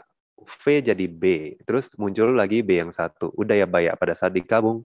Nah, ini muncul dan lenyap ya, kemunculan dan kepadaman. Nah, kemudian bangga nyana, ya, bangga nyana adalah lenyap. Bangga itu hancur, ya, lenyap. Bahaya. Bahaya itu apa? Teror, ya, menakutkan. Adinawa. Adinawa itu apa? Bahaya, ya. Pengetahuan akan bahaya. Nah, nanti akan dijelaskan setiap tahap ya wipasana nyana ini apa kenapa dia disebut sebagai sama sana, kenapa disebut sebagai udaya baya dan lain sebagainya nanti ya di paragraf-paragraf berikutnya. Makanya dari itu di sini kita cuma dikasih tahu saja ya eh, jenis-jenisnya. Nibida, nibida itu adalah ketidakminatan, ya, ketidaktertarikan gitu ya. Nah, kalau mau dibilang bahwa dia muak gitu ya, dia udah nggak mau, tapi muaknya bukan jijik begitu ya. Kalau jijik mah kebanyakan mah dosa carita ya, dosa cita ya. Nah, jadi di sini adalah dia tidak minat aja, tidak tertarik lagi gitu. Nah, kemudian mucitu kamyata itu adalah hasrat ingin bebas ya. Mucitu bebas ya. Kemudian eh, patisangka. Patisangka juga perenungan ya, perenungan kembali kadang mereka sebut ya, karena ada kata pakti ya, perenungan kembali. Nah, kemudian sangkara upekanyana. sangkara UPK. Ya. Sangkara di sini apa? Yaitu fenomena rupa, ya, fenomena materi, dan nama fenomena batin. Ya. Nama rupa itu di sini disebut sebagai sangkara. Ya. Sangkara kadang diterjemahkan sebagai fenomena yang terkondisi. Maksudnya apa terkondisi itu? Artinya untuk bisa muncul dia harus terpenuhi kondisinya. Ya sebabnya lah kalau kita bisa bilang ya segala sesuatu yang muncul karena sebab itu disebut sebagai sangkara. Nah, meskipun kita melihat kemunculan dan kelenyapan ya dari fenomena materi atau fenomena batin ini ya, tapi batin itu sudah tidak sedih lagi atau juga tidak takut ya. Nah, tapi yang terjadi apa? batinnya jadi netral, ya, kedataran terhadap formasi atau kenetralan, ya, batin yang netral pada saat melihat uh, nama rupa tersebut lenyap, lenyap, lenyap. Nah, yang terakhir anuloma nyana. Ya. Anuloma ini adalah tahap penyesuaian. Ya. Jadi dia itu uh, sama yang dia seperti menjembatani gitu ya, menyesuaikan dia. Ya. Dia sesuai sama yang di depan, juga sesuai sama yang di belakang. Jadi kayak misalnya kalau penerjemah gitu ya. Nah, jadi dari satu bahasa ke bahasa yang lain. Nah, dia ini seperti penjembatan, menjembatani kedua orang ini ya karena kendala bahasa. Nah, dia jadi menyesuaikan bahasanya itu. Nah, kemudian paragraf ke-47. Ya. Benar ya? Tadi 46. Oke, sekarang 47. Nah, paragraf 47 ini mau menjelaskan tentang tiga jenis pembebasan wimoka. Tayo ada tiga katanya. Apa itu? Sunyato, wimoko. Ya. Jadi pembebasan melalui persepsi sunya ya tidak ada ya atau kosong ya. Terus animito wimoko. Animito artinya tidak ada nimita, tidak ada tanda. Ya. Nah, nanti kita jelaskan satu-satu itu maksudnya apa ya. Apa nihito? Ya, apa nihito? Dari kata apa ya, panidi. Ya, panidi itu sebetulnya hasrat, ya, keinginan atau keserakahan. Ya, harapan gitu ya. Nah, pani, apa nihito artinya tidak ada harapan, hilangnya harapan gitu ya. Nah, pembebasan akan eh, pembebasan yang muncul karena tidak ada lagi harapan, tidak ada lagi hasrat. Nah, sebetulnya ini anicca, duka, anatta sama ya. Nah, tapi sunyata ini eh, dicapai karena merenungkan anatta. Animita karena merenungkan anicca, apa nihita karena merenungkan apa? Dukkha. Ya. Nah, jadi ya misalnya seseorang medita meditator ya, dia yogi, dia meditasi wipasana, terus waktu dia merealisasi maganya atau maga cita ya, nah, waktu itu karena merenungkan sangkara itu ya, Eh, bisa salah satu ya, bisa rupa saja atau bisa nama saja atau bisa dikelompokkan sebagai nama rupa bisa ya. Nah, dia renungkan sebagai anatta misalnya ya. Oh, sangkara ini ya anatta. Ya, tidak ada ata di situ. Tidak ada uh, kadang anatta itu disebut sebagai asaraka ya. Asaraka. Sara itu adalah esensi, inti. Ya. Asara artinya tidak ada inti. Nah, karena di situ tidak ada siapa-siapa ya, tidak bisa dikendalikan oleh sebab itu ya. Nah, jadi uh, bukan saya, bukan diri, bukan dia juga ya, bukan aku. Nah, waktu dia merenungkan sangkara sebagai anata, eh dia mencapai pencerahan. Misalnya sotapati maga. Nah, jadi sotapati maganya itu ya, pencapaian pembebasannya itu ya disebut sebagai sunyato wimoko. Ya, pembebasannya itu karena apa? Perenungan akan anata. Jadi sunya kosong, nggak ada siapa-siapa di situ ya. Nggak ada diri, nggak ada aku, nggak ada indi. Ya. Nah, animito artinya nggak ada nimita, nggak ada tanda. Artinya karena dia merenungkan anicca. Sangkara itu apa? Lenyap, lenyap, lenyap, lenyap, lenyap. Jadi nggak ada nggak ada tanda akan kekekalan di situ. Nah, di sini berarti tandanya adalah tanda bahwa sesuatu itu ada yang kekal. Ya. Nah, karena dia sudah tahu bahwa oh tidak ada yang kekal, semuanya anicca. Nah, pencerahannya itu, pembebasannya itu disebut sebagai animito, tidak ada tanda. Ya. Nah, apa nihito juga seperti itu. Ini karena merenungkan sangkara sebagai duka. Ya. Karena dia melihat sangkara itu tidak memuaskan, tidak bisa memuaskan, dan tidak membahagiakan, ya. Nah, oleh sebab itu, dia tidak ada lagi keinginan, tidak ada harapan hasrat terhadap sangkara apa pun. Nah, waktu itu dia merealisasi pencerahan, dia disebut sebagai apa nih hito wimoko, orang yang bebas karena tidak ada hasrat. Hmm. Jadi sudah sampai ke paragraf 47. Ya. Nah, begitu juga kadang disebut sebagai sunyatan nupasana. Nah, sama aja sebetulnya dia anatau nupasana. Ya. ya maksudnya dilihat berulang kali. Ya. Nah, kemudian animitan nupasana juga berarti dia latih apa? Anicca nupasana sama ya. Kemudian apa nih hita nupasana juga dia latih dukha nupasana. Nah, jadi ada tiga jenis ya. Mukha katanya ya. Mukha itu adalah jalan masuk. Jalan masuk untuk ke pencerahan ya. Makanya wimoka mukha katanya ya. Nah, setelah ini baru nanti dijelaskan setiap pencerahan ya. Setiap pemurnian, sorry, setiap tahap pemurnian. Sila wisudi, berikutnya sampai tujuh wisudi. Nah, ini kita akan bahas di pertemuan berikutnya pertanyaan bisa langsung mengetik di kolom chat dan akan dibacakan sesuai urutan. Sebelumnya, saya akan bacakan terlebih dahulu pertanyaan yang sudah masuk di minggu lalu. Pertanyaan pertama dari Ibu Ermawati.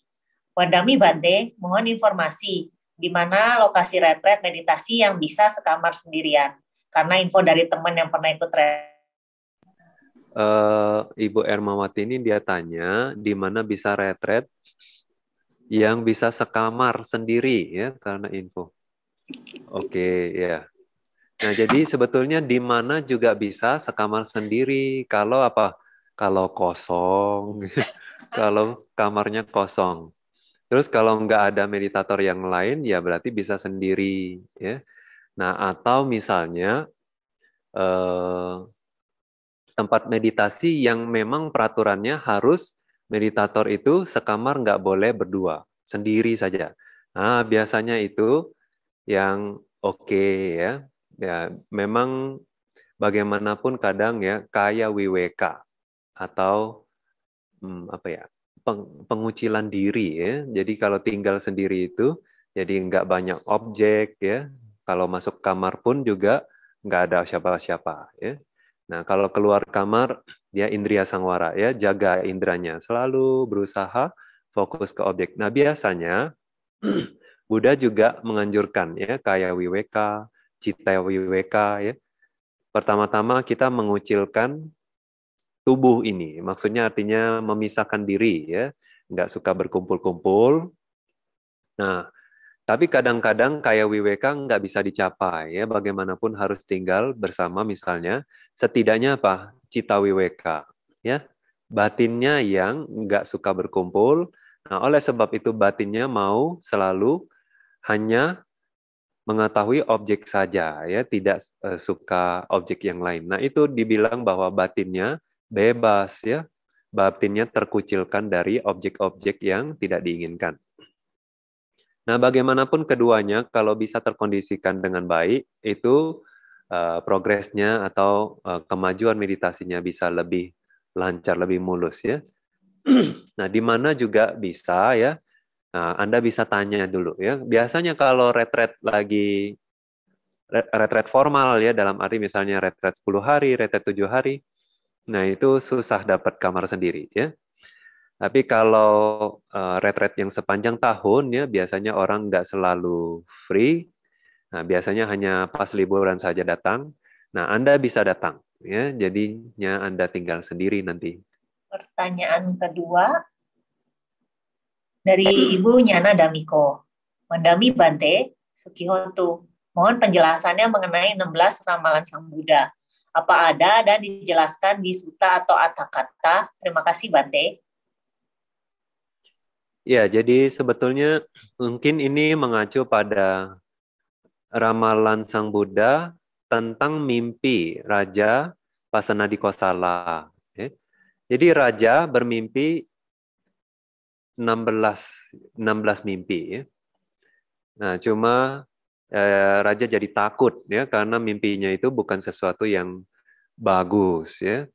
Nah, jadi raja bingung. Pertamanya dia tanya ke uh, penasehatnya ya, menteri-menterinya. Biasanya zaman dulu ada uh, menteri-menteri itu atau khususnya penasehat ya, itu bisa ngerti ya, baca mimpi, tentu tentang ritual-ritual ritual ya, tentang pemujaan-pemujaan yang duniawi gitu ya, biasanya mereka paham.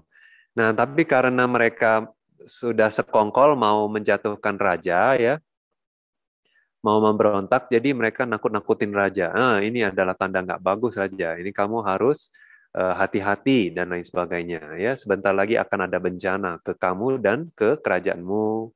Bilang gitu. Ya, dibohongin.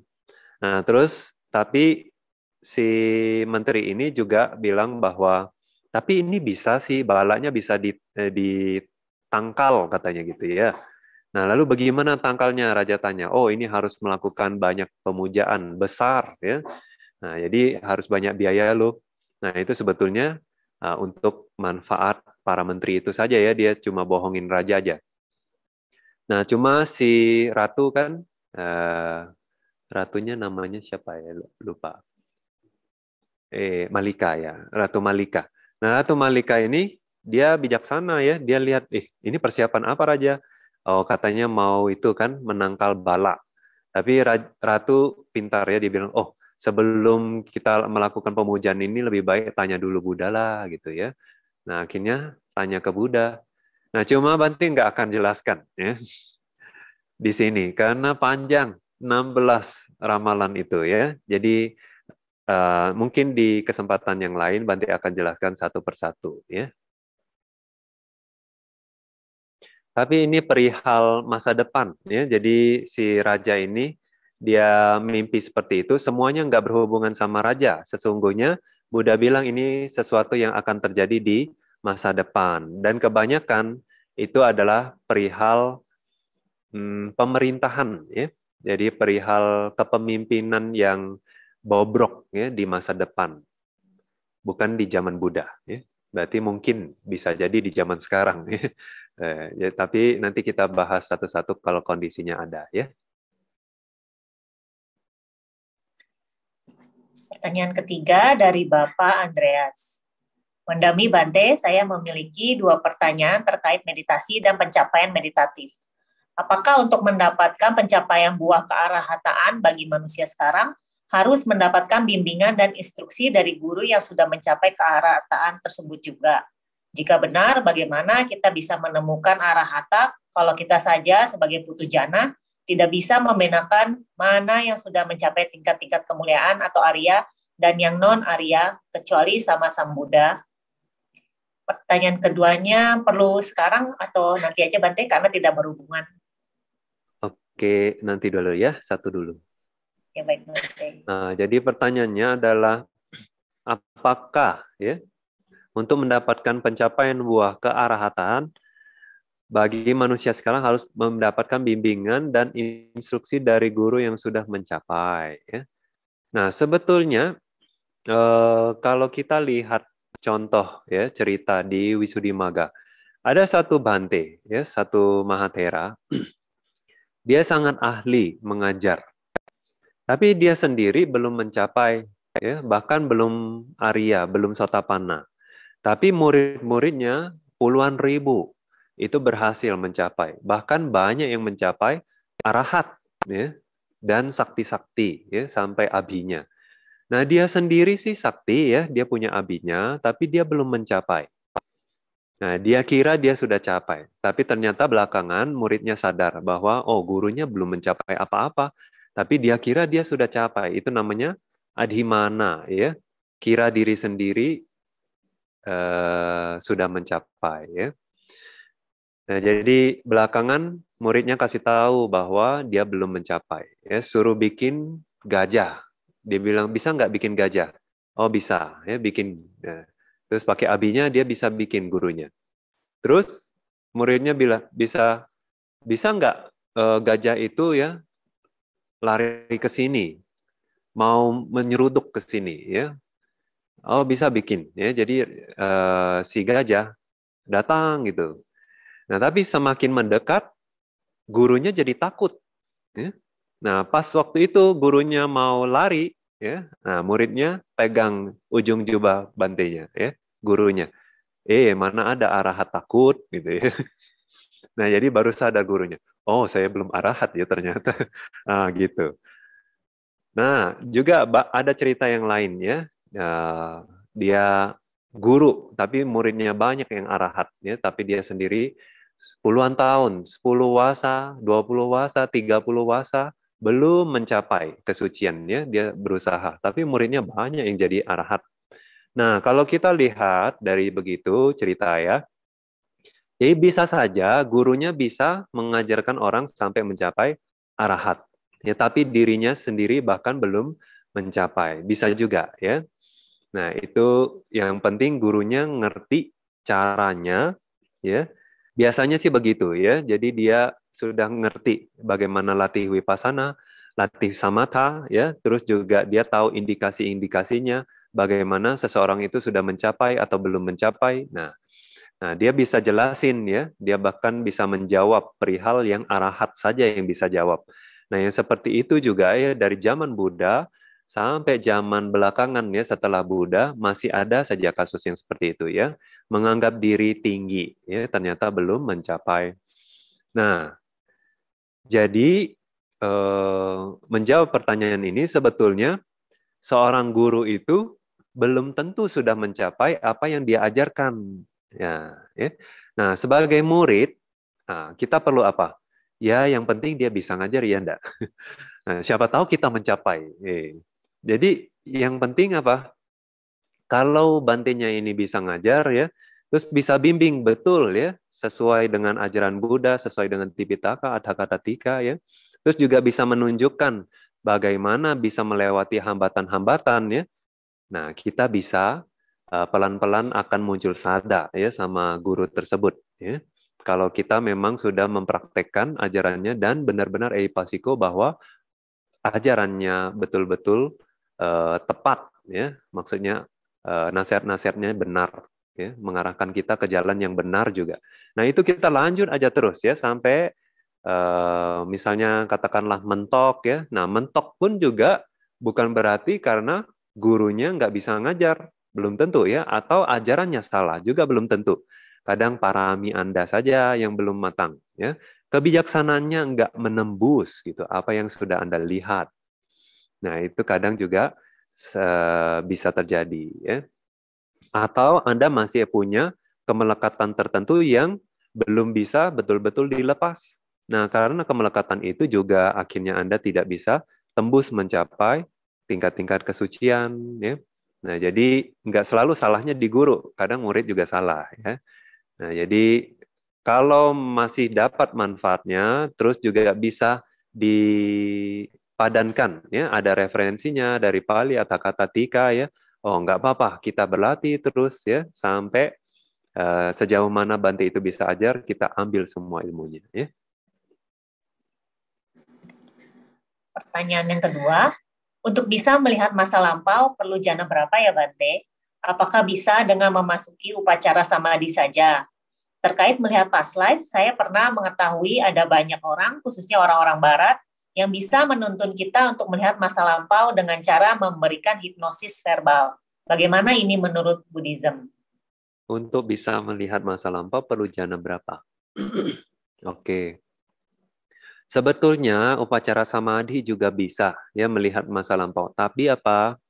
Yang dilihat adalah fenomena hakiki ya para mata dhamma. Hanya nama rupa saja. Dia nggak bisa melihat konsep ya dengan upacara samadhi. Nah, tapi kebanyakan ya eh, menurut apa ya? Menurut pengamatan ya, pengamatan para guru meditasi biasanya kalau upacara samadhi penglihatannya itu kurang jelas ya. Karena kurang jelas jadi dia enggak pede ya, enggak percaya diri. Nah, biasanya kalau sudah bisa mencapai upacara samadhi ya, Alangkah baiknya kalau dia diarahkan untuk latih jana. Karena udah dekat sebetulnya. Ya. Uh, usahanya juga ada. Nah, kecuali ya memang dia hanyalah dwi hetu kapugala, jadi dia nggak bisa mencapai jana. Nah, tapi bagaimanapun dengan upacara samadhi sesungguhnya bisa lihat ya Nah, kalau kurang jelas, diulang berkali-kali ya samadinya dikembangkan lagi. Nah, kemudian wipassananya itu juga nah, nama rupanya harus dilihat dengan jelas. Nah, waktu tarik mundur ke belakang juga uh, mudah-mudahan jadi jelas ya. Kalau nggak jelas, biasanya diarahkan untuk latih internal dan eksternal beberapa putaran, beberapa putaran ya. Enam pintu internal dan eksternal. Nah, kemudian berapa jana berapa lalu yang bagus ya. Nah, semakin tinggi jana tentunya semakin bagus. Ya. Semakin tinggi jana artinya apa? Konsentrasi kan semakin mendalam. Nah, biasanya cahaya kebijaksanaan yang dihasilkan juga makin terang. Nah, jadi penglihatan ke belakang juga jadinya tidak dikisari atau tidak dikelilingi oleh kotoran batin. Kotoran batinnya agak jauh ya. Nah, karena kotoran batinnya jauh, jadi penglihatan itu akan menjadi lebih jelas. Nah, oleh sebab itu, jana itu nggak akan uh, rugi ya kalau ngembangin jana yang uh, tinggi nggak akan rugi. Nah terkait melihat past life, saya pernah mengetahui ada banyak orang yang bisa menuntun kita untuk melihat masa lampau dengan cara hipnosis. Ah, oke. Okay. Jadi bagaimana menurut Buddhism? Jadi kalau menurut Tipitaka mungkin nggak ada penjelasannya ya karena zaman dulu eh, belum ada hipnosis ya, hipnotis. Nah, tapi mungkin Bante pernah dengar istilah regresi ya, regresi. Nah, Bante kurang tahu eh, apa ya berapa persentase kebenarannya ya, tapi Bante memang sendiri pernah dengar ada satu meditator, dia katanya pernah diregresi ya.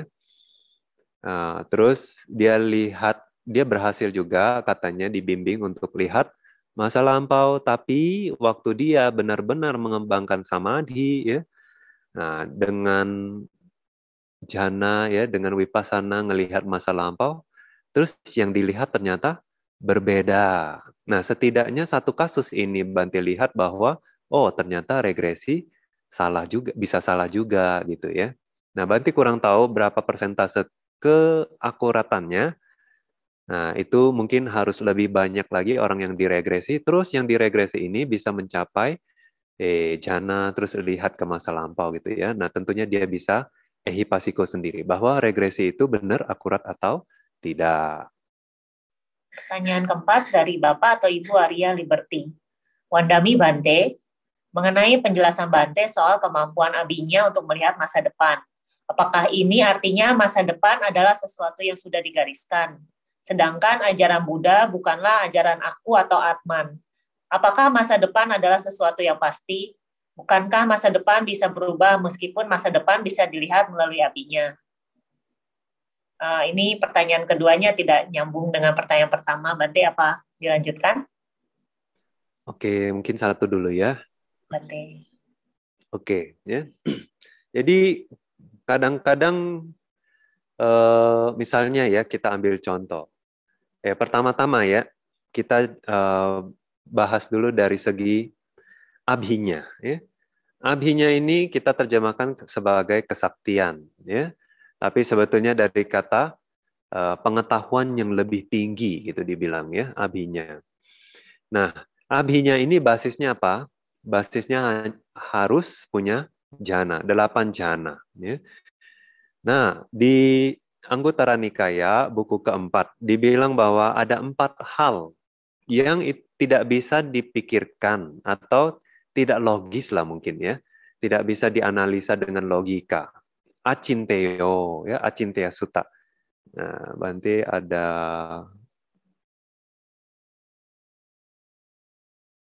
Nah, di situ ya kalau Anda lihat ya Buddha bilang bahwa ada empat hal itu di luar logika atau di luar kemampuan kita untuk menganalisanya. Salah satunya apa? Eh, yang pertama yaitu adalah kemampuan seorang Buddha. Kemampuan Buddha.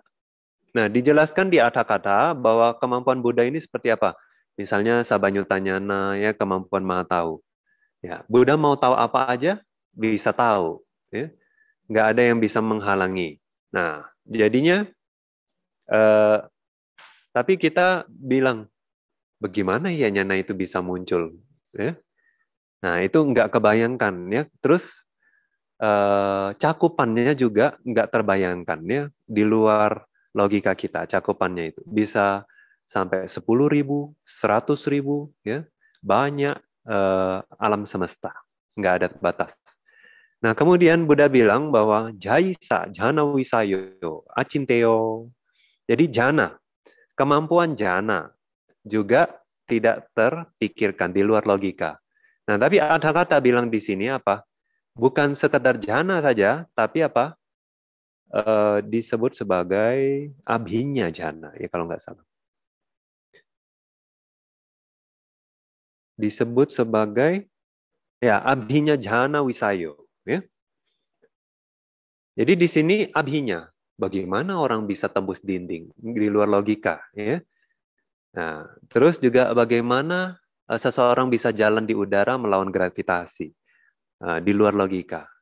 Eh, bagaimana orang bisa melamal pasti di masa depan? Itu juga di luar logika. Ya. Nah, begitu juga dengan kama wipaka nggak bisa ya, dijelaskan ya secara logis. Kemudian uh, perihal muncul dan lenyapnya alam semesta, ya dunia ini. Nah, akhirnya Uh, itu satu sisi ya. Jadi abinya itu sebetulnya sulit kita jelaskan bagaimana kok bisa melihat ke masa depan dan tepat gitu ya. Nah, tapi Buddha juga uh, ada satu contoh bahwa Buddha lihat si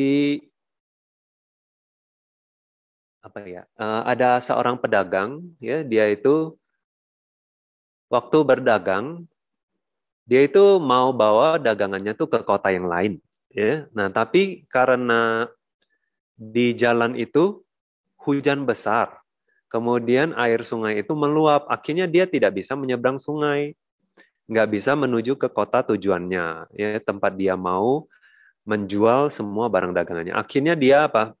Nunggu di situ dia mau nunggu sampai air surut ya atau dia mau berdagang aja di situ ya akhirnya dia uh, nunggu di uh, samping sungai tersebut. Nah, Buddha melihat orang ini ya, uh, dia berpikir bahwa oh nggak mau pulang, dia musim musim hujan ini atau nanti setelah musim hujan, musim dingin, nanti setelah musim dingin, musim panas, dia mau melakukan apa?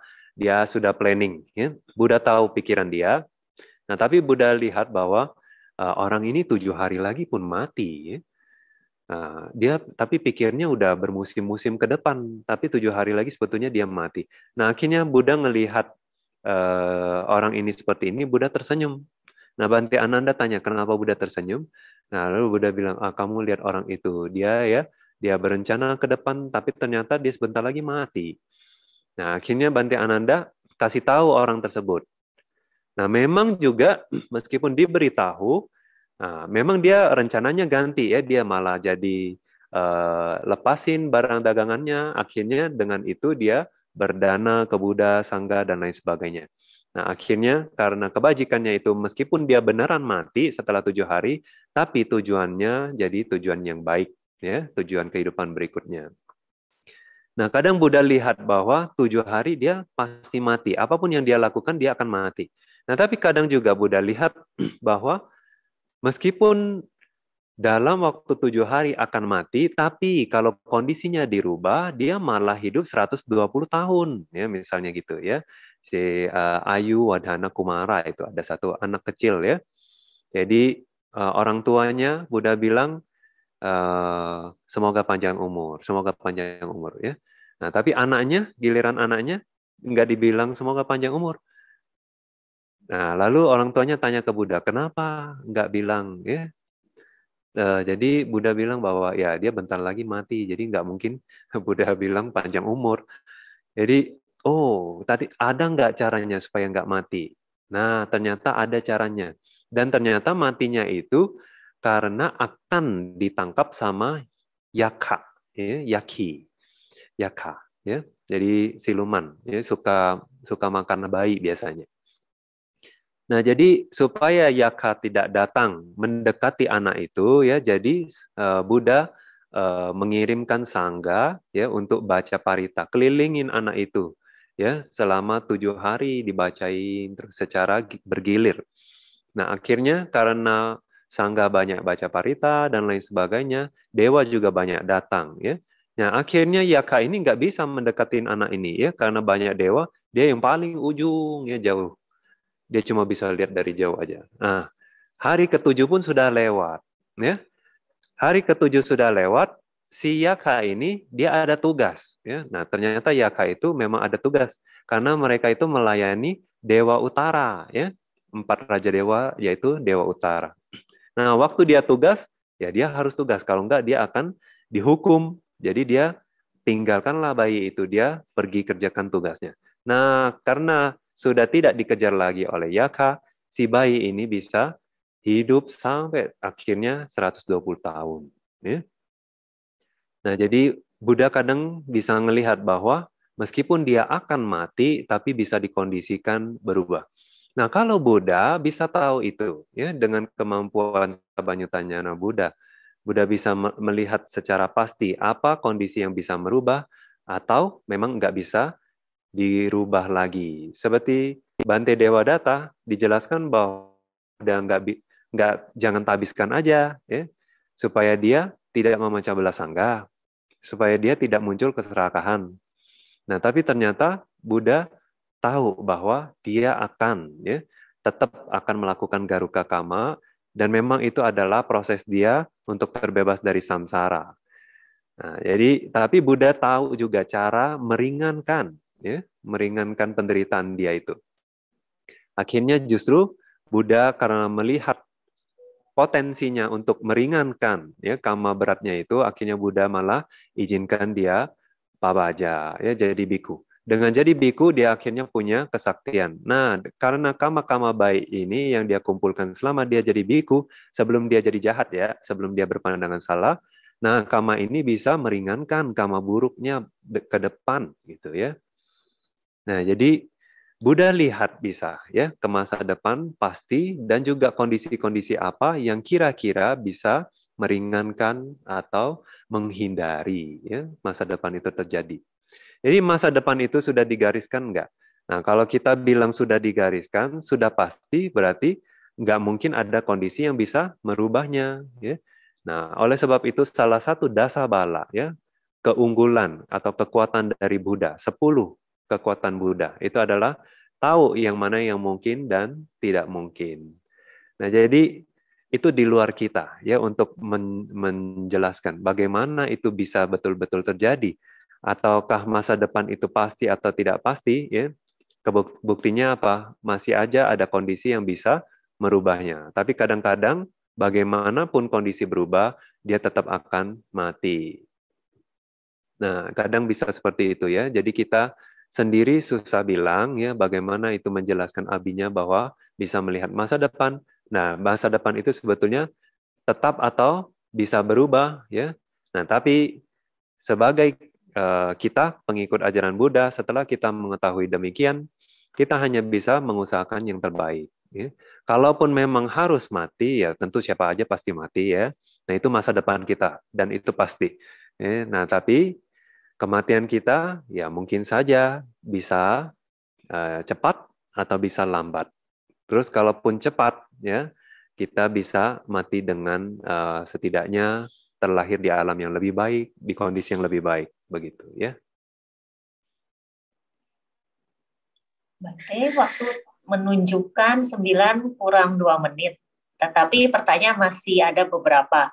Apa pertanyaan yang kedua ini tetap dibacakan atau nanti untuk minggu depan saja, Bante?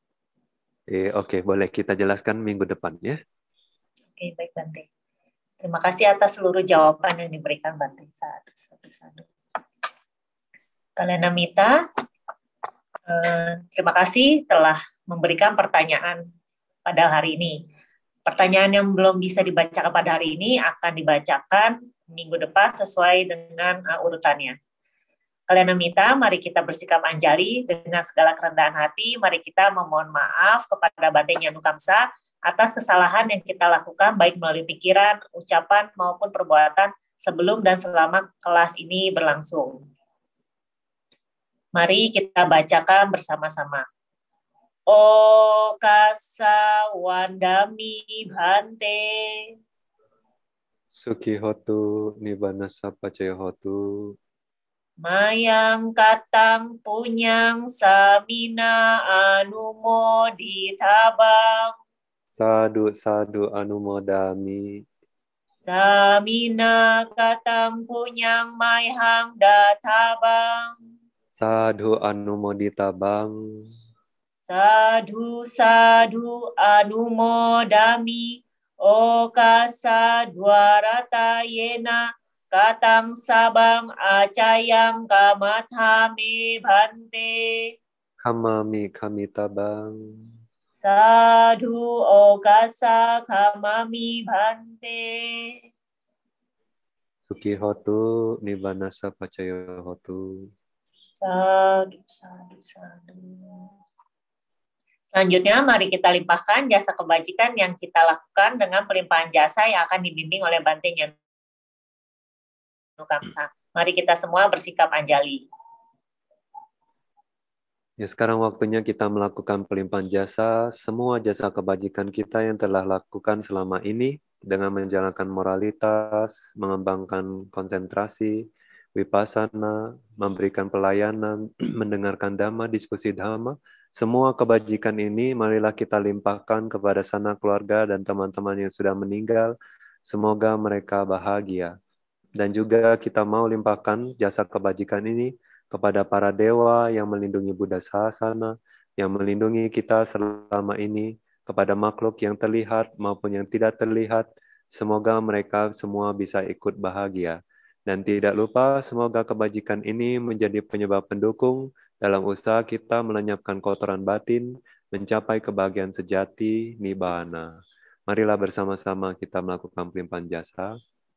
Etawata amhehi sambhatang punya sampadang sabe dewa anumodantu sabe bhuta anumodantu Sabe satta anumodantu sabba sampati siddhya idang me nyati nang hotu sukhita hontu nyatayo idang me nyati nang hotu sukhita hontu nyatayo idang me nyati nang hotu sukhita hontu nyatayo. Idang me punyang asawakaya waham hotu. Idang me punyang nibbana sa pacayo hotu. Mama punya bhagang sabasatanang bhajeni Te sabe me samang punya bhagang labhantu sadhu sadhu sadhu Mita, mari kita bersama beraspirasi dengan kebajikan ini. Semoga ajaran Buddha bertahan lama dengan mengucapkan Buddha Sasanang Cirang Titatu sebanyak tiga kali. Mari kita ucapkan bersama-sama. Buddha Sasanang Cirang Titatu Buddha sasanam cirang tithatu Buddha sasanam cirang tithatu Sadhu, sadhu, sadhu.